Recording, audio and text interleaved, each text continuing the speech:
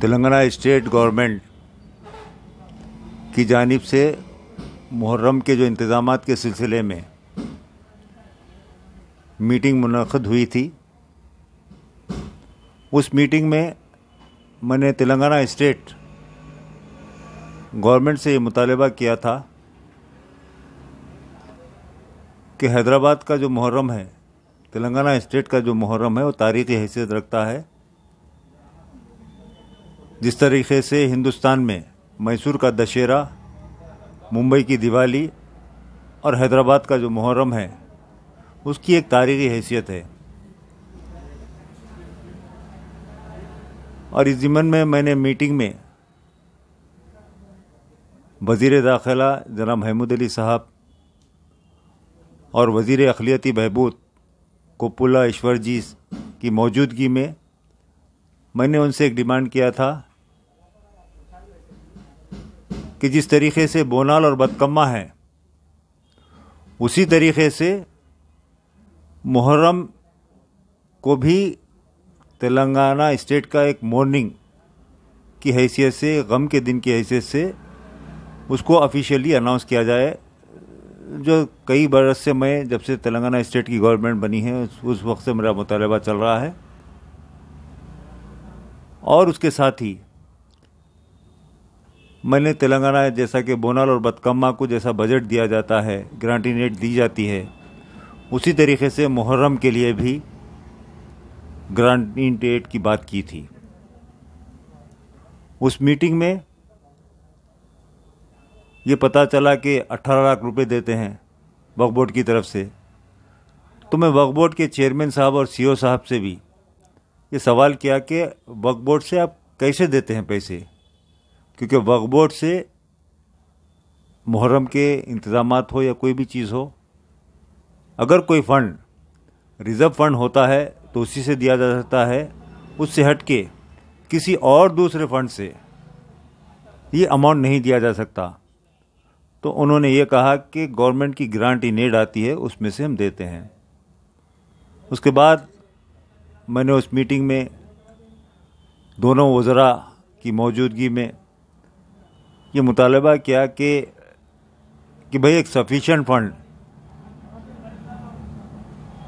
इजरा किया जाना चाहिए और साथ ही तेलंगाना स्टेट में कई आशुर खाने जात हैं, सिर्फ़ हैदराबाद, क्योंकि ये तेलंगाना स्टेट गवर्नमेंट की मीटिंग है तो तेलंगाना स्टेट में जितने भी आशुर खाने हैं, उसकी आहक पाशी रंगो रोगन ये तमाम की ज़िम्मेदारी तेलंगाना स्टेट पर आयद होती है। तो नहीं नहीं, हम तो यानी चेयरमैन साहब वक्फ उन्होंने, नहीं, हम आशुर खानों को पैसे देते हैं। तो मैं उनसे ये कहा कि भाई आप आशुर खानों को एक रुपया भी मत दीजिए। जो ज़रूरत की तकमील होती है, चाहे आहक पाशी हो, रंगो रोगन हो, जो भी ज़रूरत है, आपको डायरेक्ट वहाँ पर करवानी चाहिए। क्योंकि आप अगर पाँच हज़ार, दस हज़ार या बीस हज़ार देते हैं तो छोटे से लेके बहुत बड़े आशुर खाने तक हैं तेलंगाना स्टेट में तो मैं ये समझता हूँ कि उससे कलर का एक डब्बा भी ख़रीदना मुश्किल है। तो बोले कि नहीं, आइंदा हम उस, आइंदा गौर करेंगे, लेकिन फिल वक्त तो टाइम कम है। लिहाजा, अब इसी तरीके से हम कर देंगे। तो मैंने उनसे फिर मुतालबा किया कि ये जो अमाउंट आप दे रहे हैं वो नाकाफ़ी है। तो उसके बाद 25 लाख किए, फिर उसके बाद 50 लाख पर उन्होंने रजामंदी ज़ाहिर की।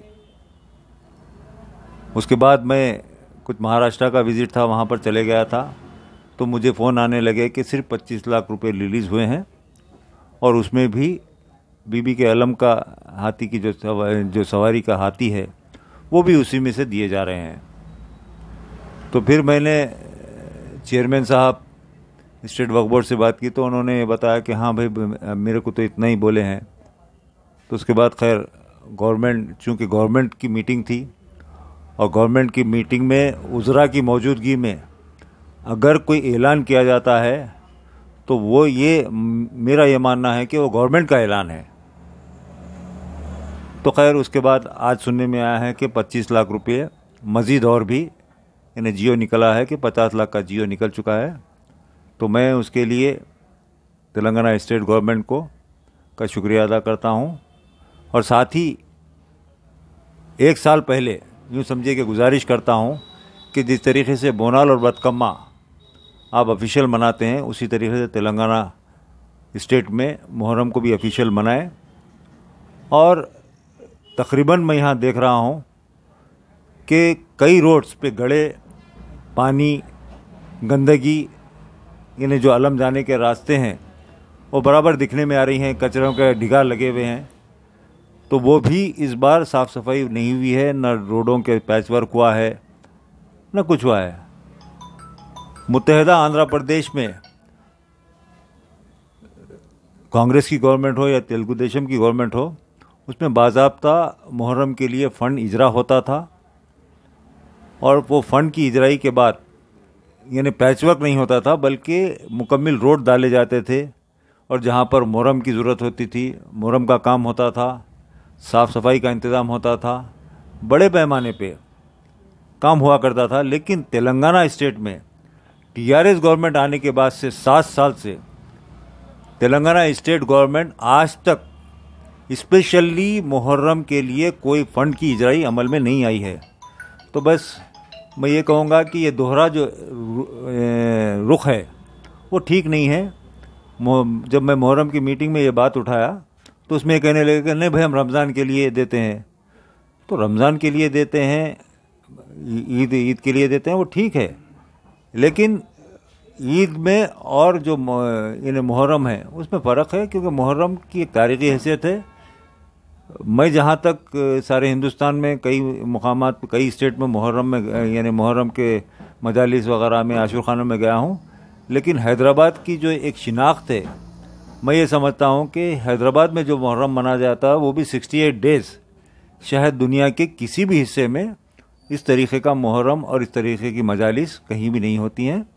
तो मैं एक बार फिर तेलंगाना स्टेट गवर्नमेंट से मुतालबा करता हूँ कि वो कम से कम आइंदा साल के लिए यानी रोड का काम है और ये, यानी आशुर खानों की डायरेक्ट यानी मरम्मत का काम है या रगरोगन का काम है, ये तमाम तर अंजाम दे, क्योंकि ये मुहर्रम सिर्फ़ शिया कम्युनिटी का नहीं है, बल्कि हिंदुओं का भी है और सूफ़ी सूफ़ी सुन्नियों का भी है। क्योंकि अक्सर, यानी डिस्ट्रिक्ट्स में सुन्नियों, सुन्नी आशुर खाने चलाते हैं, हैदराबाद में भी कई आशुर खाने सुन्नियों के हाथ में हैं और हिंदुओं के हाथ में हैं, उसी तरीके से डिस्ट्रिक्ट में हिंदुओं के हाथ में आशुर खाने हैं और हिंदू जो है पीर पंडुगा के नाम से मनाता है। तो इसको तेलंगाना स्टेट की गवर्नमेंट को समझना चाहिए और आइंदा एक सफिशेंट फंड ताकि यानी जुलूस के जो रास्ते हैं, उसकी रोड सही तरीके से पड़े और साफ़ सफ़ाई का इंतज़ाम हो। और साथ में तेलंगाना स्टेट के जितने भी आशुर खाने हैं, एक साल का आपको टाइम मिलेगा। जो भी मखदूश हो गए उसकी तामीर नो करें। और साथ ही उसका रंग रोगन का इंतज़ाम करें। इसी तरीके से नारायणपेट का आशुर खाना भी, जो मुनदिम हुआ था, हुकूमत और हमारे वज़ीर दाखिला ने ऐलान किया था कि वो जल्द होगा।